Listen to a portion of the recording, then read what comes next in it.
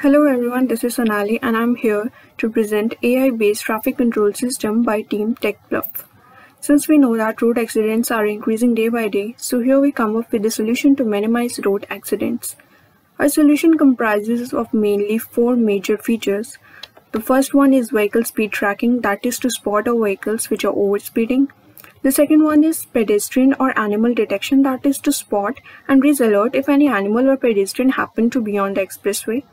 The third one is automatic number plate recognition, that is to keep the track of vehicles not following the rules. And the last one is helmet detection, that is to detect the people who are not wearing helmets. Coming to our first slide, that is vehicle speed tracking, we have used object detection AI. We decided two virtual points A and B and use the formula speed is equal to distance upon time to calculate the speed. The distance between virtual points are calculated using calibration and the vehicle that is being detected is trained on neural network. Here you can see the real-time output of this. You can see the blue rounding box around the vehicle that is being detected. Green and yellow lines are points A and B. The distance between them is calculated with calibration and the speed is calculated and you can see the speed here in the front. Coming to our next, we have pedestrian or animal detection. We have used single shot detector model to detect pedestrians on roads and then interpret the region of interest.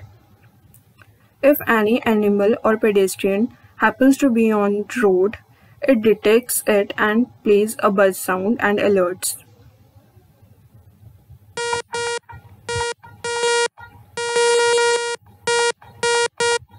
Coming to next, we have automatic number plate recognition.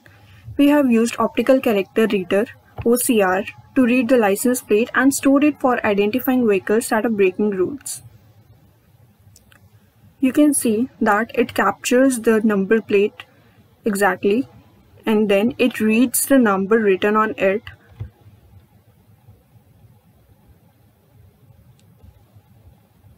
You can see the accuracy. Coming to next we have helmet detection. We have trained a custom AI model to detect people with and without helmet. The unique selling point is that it can detect 100 plus people in single frame.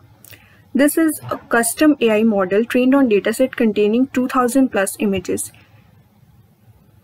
here you can see that the green rectangles are around those who have worn helmets and without helmets are in red rectangle box.